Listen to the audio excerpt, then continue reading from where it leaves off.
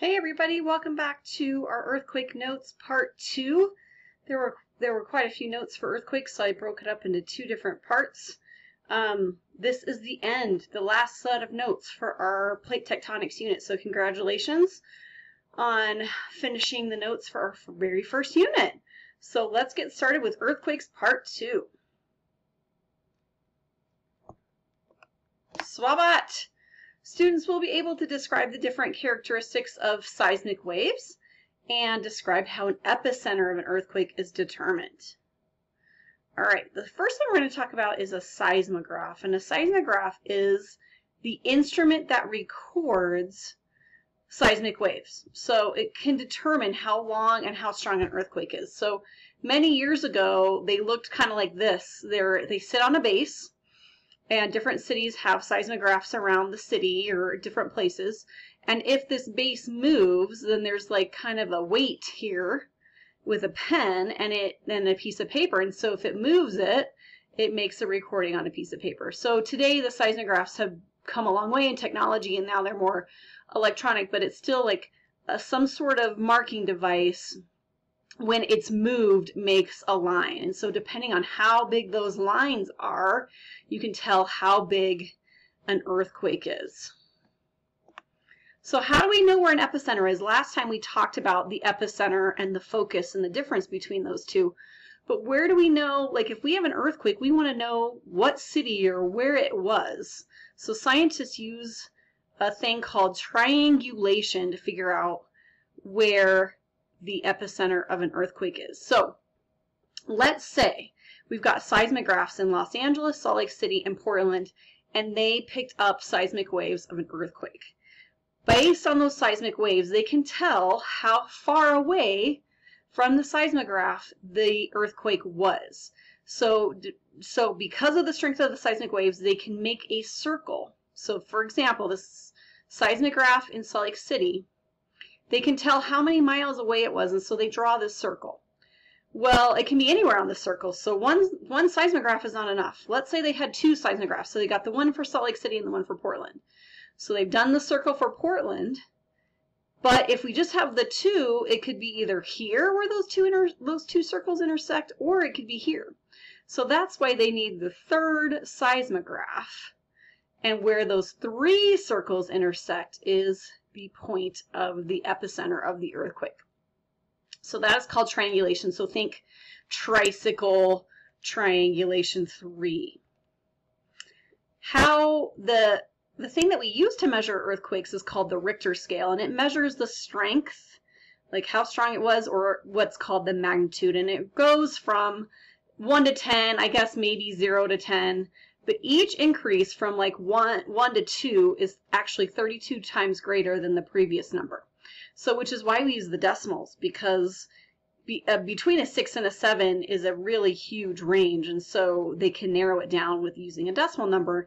And this little chart down here kind of talks about destruction um, along an earthquake. So there may not be very much destruction until we get to in the four, five range and then anything over nine, even anywhere in on this side, we can get a lot of destruction in an earthquake. And now we're going to talk about those, what causes that destruction.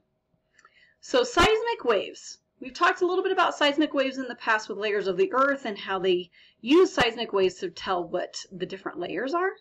Um, the very first seismic wave is called a P wave or primary wave, and it is the first to arrive. It's the fastest wave and it can move through solids and liquids, and it shakes the ground back and forth. So I've got a little tiny slinky right here. But P waves basically go like this. Back and forth.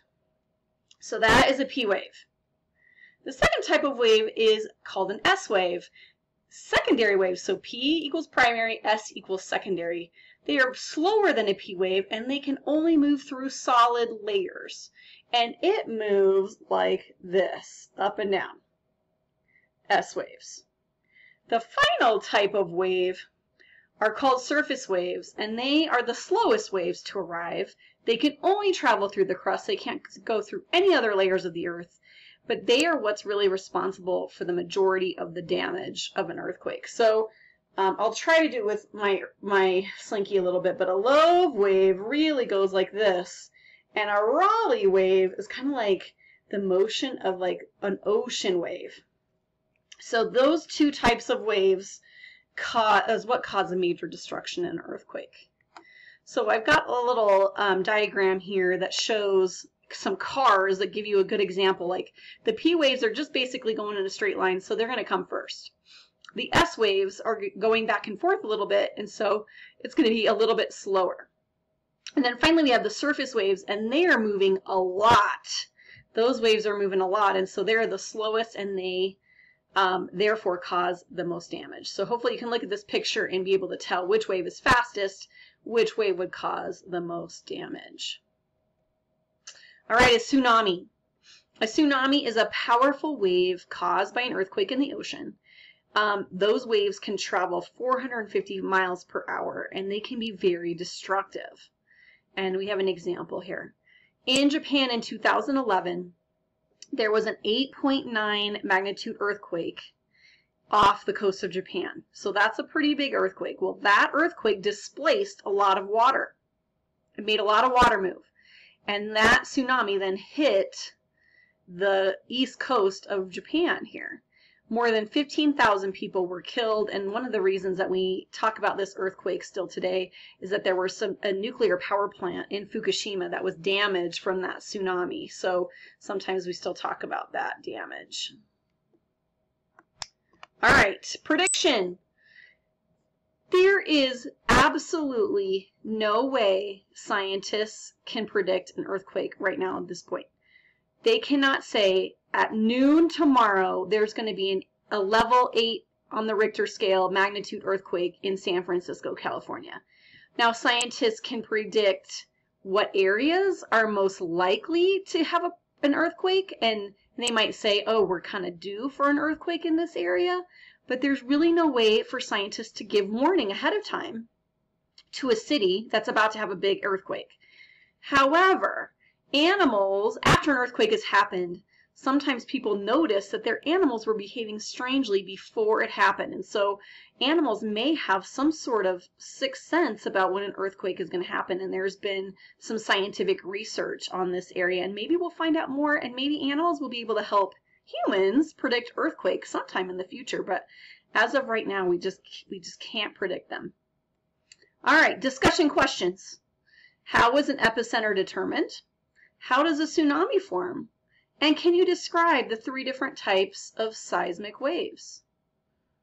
And then finally, our meme. There was an earthquake in Utah in March 2020, a, a very minor earthquake. Um, so here we've got our meme. And Thank you for watching the part two earthquake notes and remember, science rocks.